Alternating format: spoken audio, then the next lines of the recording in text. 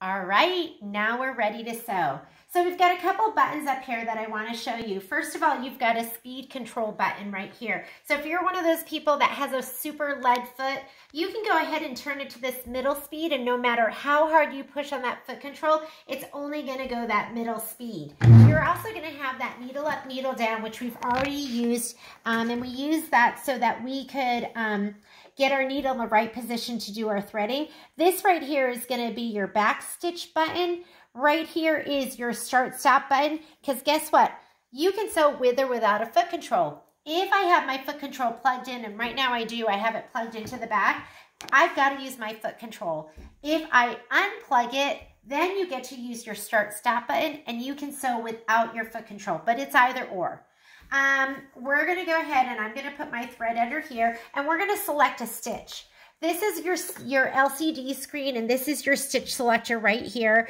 If you wanted a stitch, so for instance, let's say I wanted to do a center straight stitch, then I would go to stitch 01 and I could just push that button up and it's gonna go ahead and select my stitch for me. It's also gonna set the length of my stitch and the width of my stitch, which on a straight stitch is going to be where your needle position falls.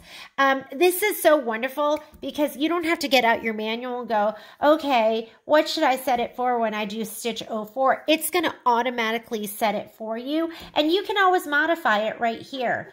Um, another really nice thing about this is it is going to tell you what foot it recommends. So right now it's recommending for this stitch, stitch 01, which is a straight center stitch, it's recommending that I use foot J and there is my foot J. It's already on the machine. How do I know it's my foot J? Because I'm going to take that foot off. There's a little button back here. It's a little black button. And when I push that towards me, the foot falls off. Isn't that neat? And if you look at this foot right there, it says J, and that's going to just be your zigzag foot. Now I'm going to go ahead and put this back on. The easiest way to put your foot on is to go ahead and put it right underneath where there's a little bar here, um, where that can clamp down on the bar. I'm just going to reach to the back, and I like to do it with this hand because this is where you lower it down. And I'm just going to lower it down on there, and if you heard that click, it clamped right on, okay? So easy peasy. Let's go ahead and do some straight stitching. My favorite stitch, stitch 01. I'm to go ahead and lower my, um, my presser foot. And there we go. And if I want to go faster, I can just speed it up right here. And you get this nice, beautiful stitch. This is also a nice feature because you're going to see every time I stop, my needle's ending needle down. And I can just go ahead and pick up my presser foot, turn my fabric, and pivot, and we're ready to go again.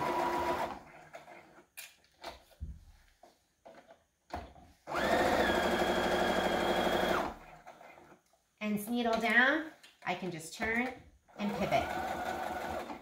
Um, this is how you're going to select where you're going to be with your stitches.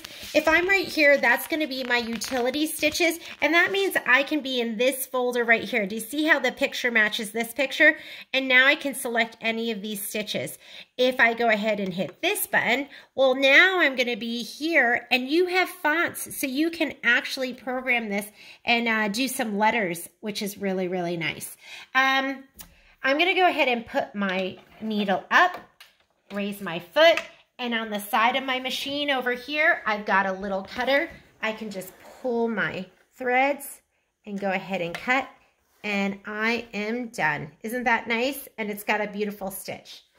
I'm going to show you how to go ahead and modify your stitch and um, modify the length and the width.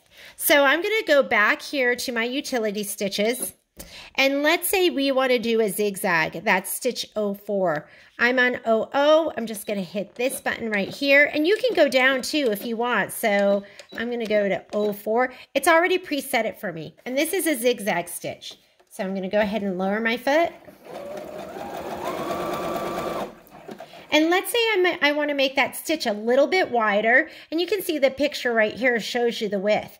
Right now I'm set at 3.5 millimeters. I'm going to go ahead and make it 4.5. And maybe I want those zigzags to be a little bit closer together. I'm going to reduce this, my stitch length, down to a 1.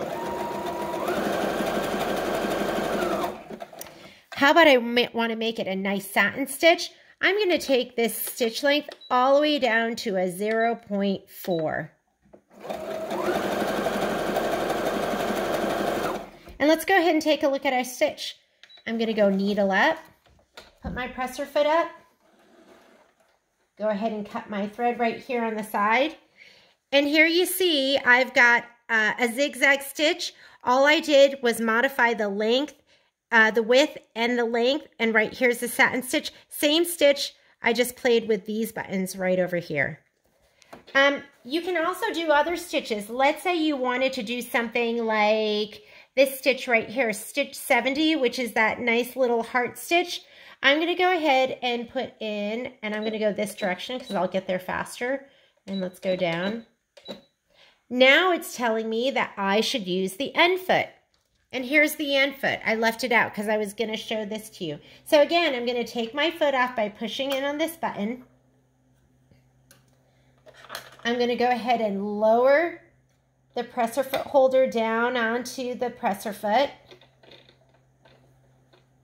And let's go ahead and do our decorative stitch. And you know what else I'm going to do? I'm going to use my start stop button. So this time I'm going to go ahead and unplug the presser foot because remember it's either or. And now I can go ahead and hit my start button.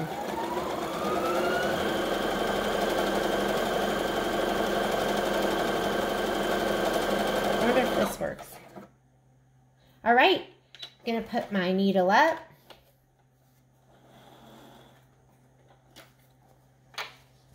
And look how cute that is. You've got little heart top stitching that you could do, or you could put it on anything just to, to add a little pizzazz. So that's just a little intro into some of the stitches that you have, how to change out your presser foot, um, your needle up, your needle down button, how you can sew without using your foot control, um, and how we can modify our stitch select our stitch and use our speed control and uh, do our utility folder versus our font folder.